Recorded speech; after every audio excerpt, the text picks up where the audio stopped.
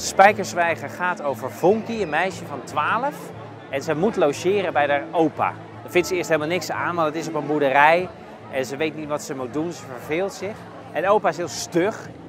Maar langzaam krijgt ze hem zover dat hij verhalen begint te vertellen. Verhalen over vroeger, over toen hij op die boerderij woonde met zijn zes broers.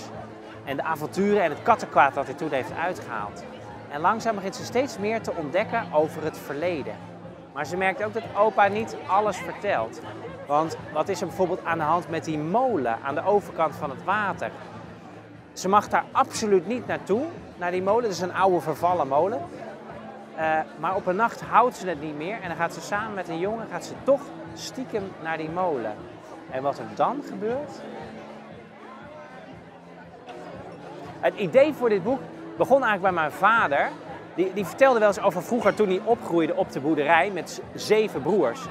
En uh, een van mijn lievelingsverhalen was dat hij ooit door een zwaan uh, de, de sloot in was geslagen met fietsen en al. Dus toen was hij echt de, het water in.